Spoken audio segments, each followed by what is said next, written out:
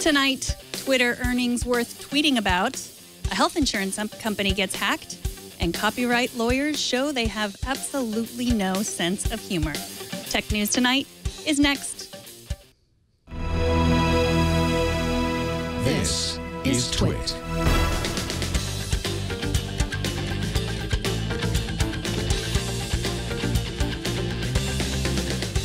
This is Tech News Tonight, episode 269 for Thursday, February 5th, 2015. This episode is brought to you by lynda.com. Invest in yourself for 2015. Lynda.com has thousands of courses to help you learn new tech, business, and creative skills. For a free 10-day trial, visit lynda.com slash TN2. That's L-Y-N-D-A dot com slash TN2. I'm Megan Morrone. Let's get right to the tech feed. Twitter announced quarterly earnings this afternoon. Earnings were up, but user growth was down. This has been one of the most highly anticipated earnings reports for the company, with a lot riding on CEO Dick, Costolo's shoulders. And it's fair to say that investors are getting a little impatient with the company. There are rumors that Costolo is on his way out, and ahead of this afternoon's earnings call, The Verge reported a leaked memo from Costolo regarding the way Twitter deals with trolls. Although it's surprising to read that a CEO thinks his company sucks and that he's ashamed, I think we can all agree that Twitter could do more to combat the rampant sexism, racism, and overall meanness on the network. We'll talk more about that with our guest Danny Sullivan a little later in the show. But first, the second largest health insurance company in the United States was hacked last week. The breach exposed the social security numbers, birth dates, addresses, and other dates for other data for as many as 80 million customers. Insurance company Anthem is working with both the FBI and security firm Mandiant on tracking down the perpetrators. Bloomberg sources say the Chinese government is the leading suspect in the hack. Note that the attack affected the customers of Anthem sub-brands like Anthem Blue Cross, Anthem Blue Cross and Blue Shield, Amerigroup, CareMore, Unicare, HealthLink, and others. You can find a link to the whole list on our website. The company says they believe that no medical related information was compromised.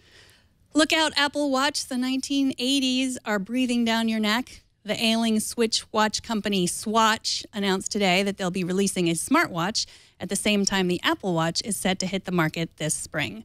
Swatch CEO Nick Hayek says the watch will have mo- mobile payment capabilities. It will work with Windows and Android, and it will connect to the internet without having to be charged. Really? How will it do anything? To be fair, Bloomberg Business is reporting that Swatch has a brand that's been making touchscreen watches since 1999, and the company already sells versions with altimeters, altimeters, altimeters, compasses, and sensors that can track a diver's descent. Well, I can't wait to see what they do with a watch that doesn't need to be charged. We talked a little bit earlier about Twitter, but Twitter's earnings and the Dick Costolo's acknowledgement of the troll problem weren't the only big news out of the company today. This morning, Twitter announced that they'd reached another deal with Google that will allow tweets to show up in Google searches in real time. We've invited search expert Danny Sullivan of Search Engine Land to help us understand what this means. Welcome, Danny. Hi, thanks for having me. So, how is this deal going to work?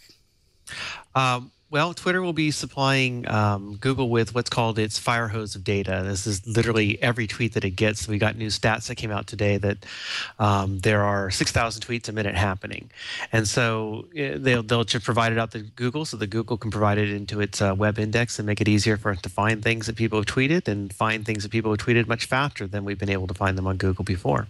So this isn't the first deal that they've had. Uh, what happened to the last deal? Uh, so they did have a deal that ran from 2009 to 2011. Uh, Google loved that deal so much they built an entire service called Google Real Time Search around it, and you could do these dedicated searches just to find tweets as long as as well as some other uh, information. And then it just collapsed and it seems as if Twitter wasn't feeling like it was getting the value out of the deal. From some reports I was reading again today, uh, there was some some updates on this in the Wall Street Journal, uh, plus some perhaps uh, feeling threatened by Google having just launched Google Plus and trying to you know compete with it. Um, none of the companies ever really said what happened, but it it just went away, and and it went away so quickly and so dramatically that Google ended up having to close its entire real time search service uh, within days of the uh, deal ending. And now we see that Google Plus isn't really a threat to Twitter. Well, it's interesting. Uh, Google Plus isn't a threat to Twitter, and at the same time, Twitter, I think, largely has come back to Google saying, "Hey, you know what? We really need you," uh, because Google, uh, sorry, Twitter had done an experiment um, at the end of last year where they tried to make it possible for them to get more visitors from Google by by basically doing search engine optimization, doing a better job of making sure that they could be crawled, and they found that they got ten times as many logged out users as they were getting before. So they definitely saw the value of Google traffic and realized, hey, we want a lot more of that. So, um, you know, Google's social aspirations didn't go the way that it might have thought, and Twitter may have also found that we kind of still need Google in a lot of ways. Right. So now, if I have a Twitter, I do have a Twitter account. I can see Google tweets. But if what if you don't have? If you're not a Twitter user, can you still see tweets in the Google searches? Oh yeah, and then in fact, you know, it's it's important to understand that we've always had tweets, even without the first deal being in place, and even after the first deal ended. Um, Twitter go, uh, Google goes out and it crawls the entire web, and if it's public, it'll get it. And lots of these tweets, you know, they're public. Excuse me the difficulty is that Google simply cannot get all the tweets without Twitter's help, unless it actually really wants to crash Twitter. Because to, to get 6,000 tweets a minute, it's having to constantly be going out there and hammering on the Twitter website to pull all of those in.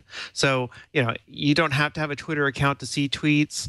Um, this doesn't mean that we haven't had tweets in Google before, but it does mean that if you do searches on Google, probably in the next few months when they finally get all this into place, um, there's a better chance you'll find some of those breaking tweets or the popular tweets coming up uh, almost as soon as they happen, rather than you may having to wait five minutes, 10 minutes, or an hour, or even longer before they appear. Right. Because when I'm looking for news during the day, I find the most updated stuff on Twitter, not on Google. Exactly, and that's part of the value that Twitter brings to Google. You know, there's there's an earthquake, Twitter will tell you right away when it happens. Everybody knows. Or there's some sort of a breaking news story. A lot of times it's happening and showing up on Twitter before it's getting into some of the mainstream sources. And so this is one of the advantages that Google will gain uh, by bringing some of this Twitter data back in. So, so how does advertising fit into this? Are they um, are they do why is Twitter doing? What are they getting out of this?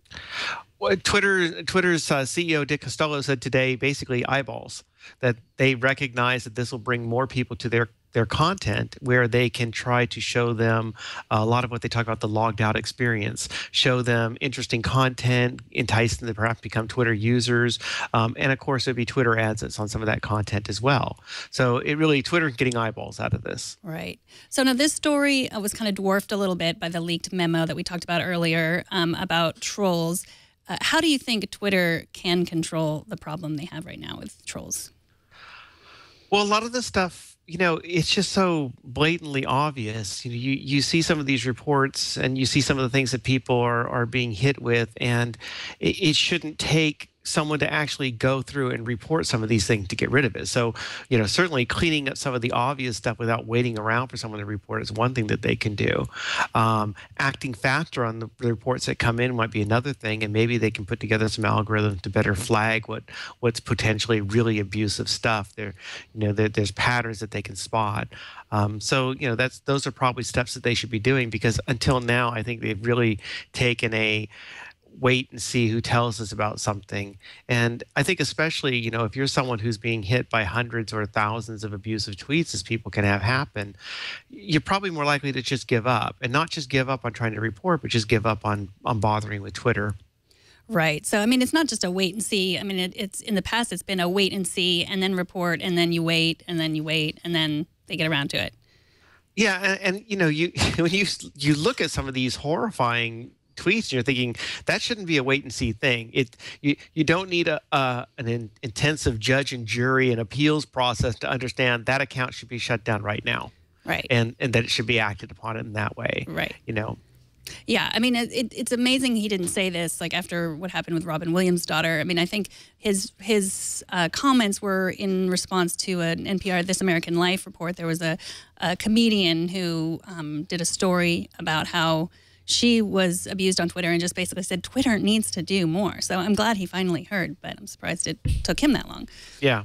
Uh, so you were on Twitter's earnings call this afternoon. Um, what are the most important takeaways from that? Well, aside from the Google deal, which you know was wasn't even mentioned formally as part of the call, the big takeaway is probably that you can see Twitter is doing a big emphasis on stop worrying about the user figures, start looking at our revenue numbers because their user figures were nothing great. And in fact, there was almost this horrifying moment where they explained that they lost 4 million users because of iOS 8, which sounds odd, right? Because being integrated in iOS 8, you would think, woohoo, we're going to make more people. But they found some bug with Safari that meant they had 3 million people that really weren't as active as they thought. They went away. And then they probably lost another million people because when they upgraded to iOS 8, they didn't bother to. Uh, either download the Twitter app again if they lost it or bother to log back in and start using it again. So, you know, uh, the user numbers were not exciting, but the revenue numbers, you know, they've had dramatic growth from this quarter from last quarter, very dramatic, and some dramatic, you know, and, and significant uh, growth in the quarters before that. So I think that the story that you're going to hear them tell throughout this year will be, you know, stop thinking about the users, start looking at our revenue numbers because users do not necessarily equate to our success in making money. All right. So you cover search engines. Is there any, what's the biggest news coming up? Anything that you can tell us about that's coming up in search that we should know about? Oh well, you know, I mean, uh, uh, certainly the, the the news out of what what come together with Twitter and Google is, is very exciting. Um, you know, another change that was exciting this week was that they uh, Google's recently done some changes so that if you do searches for like uh, I think love quotes is an example of this that brings it up, uh, you're getting better links over to some third party sites. Uh, to whereas in the past Google has been kind of taking content from these sites and not directing you as well to them. So I I think they're looking at ways to kind of get the balance back. Another example example was if you search for like WordPress downloads, uh, I believe you got a big image for the WordPress site and a big link over to where the download site area was. Well, thank you so much, Danny. That was Danny Sullivan from Search thank Engine you. Land. Thanks for coming to talk to us. Thanks for having me. Thanks. And you can uh, see Danny is on Twitter at Danny Sullivan. Coming up, GoPro announces earnings and Apple finally puts iPhoto to rest. But first, this episode of Tech News Tonight is brought to you by lynda.com. It's already February. What are you waiting for? Invest in yourself this year. Learn something new with a free 10 day trial to lynda.com. Lynda.com is used by millions of people around the world. It has over 4,500 courses on topics like web development, photography, visual design, business, Excel, WordPress, Photoshop, and a whole lot more. Are you looking to take your business to the next level? I recommend lynda.com courses like WordPress Essential Training SEO fundamentals, and a weekly series called Small Business Secrets, where small business coach Dave Crenshaw covers topics like accounting, marketing, management, and more. Whether you have 15 minutes or 15 hours, each course is structured so you can learn at your own pace and at your own schedule from start to finish. All lynda.com courses are taught by experts who are accomplished professionals at the top of their field. So do something good for yourself in 2015. Sign up for a free 10-day trial to lynda.com by visiting lynda.com slash TN2. You'll get unlimited access to every course on lynda.com, including access on your iOS and your Android devices, plus new courses as they're added each week. That's L-Y-N-D-A dot com slash TN2 to try it free for 10 days. Go ahead. I challenge you to learn something new. Now, on to a few more stories we're following today. GoPro announced fourth quarter earnings, but not while they were skydiving, surfing, or skateboarding, which to me was very disappointing. But thanks to their impressive holiday season, investors were still impressed. The company managed to beat Wall Street forecasts with more than doubled revenue from the year before. The company shipped 22.4 million units during that quarter, up from the 1.42 million shipped during the same period last year. Here is our Go Pro footage of Leo on a drone. That's not actually Leo, but a plastic Leo, or perhaps ceramic. Apple offered today pre-release copies of a new imaging editing, image editing and management application for OS 10 Yosemite. It's called Photos, and it will replace the current iPhoto app when Apple releases it to the public free sometime this spring. Photos is iCloud centric, syncing all pictures from your Apple device through the cloud. Pictures from a digital camera loaded into, into Photos will be synced with iCloud. The new service appears to be a way for Apple to boost iCloud revenue. Photos will not sync with other cloud services like Google Drive or Dropbox. Meanwhile, Apple charges between 99 cents for 20 gigabytes of storage and 19.99 for 1 terabyte. That's per month. So they're happy to accept very large file formats like RAW images. In addition to emphasizing cold storage, Photos is intended to make photo editing easy and powerful with a clean, minimalistic interface that takes advantage of trackpad gestures like pinch and zoom and easy to apply filters. And speaking of Apple, which we often do, it seems that the company is getting closer to a web TV service. The internet is abuzz with rumors that Apple is preparing to offer a bundle of pay channels, not unlike the Sling TV product from Dish that we reported a few weeks ago. And in other cord cutter news, a new website called Just Watch launched today, calling itself a search engine for streaming media. You can just search for, search for movies for now, but TV shows are coming soon. And GoPro is also joining the party with a new GoPro channel on Roku designed to allow you to watch professionally created GoPro content as well as best of user generated content. And finally, if you watched the Super Bowl, then I think you will agree with me that the best thing about the entire game was the dancing sharks who accompanied Katy Perry on Teenage Dream and California Girls. And those of us who spend way too much time on the internet have enjoyed all of the shark memes this week, including vigorous debates about whether the left shark or the right shark was the better dancer. I think right shark, but you know, you decide.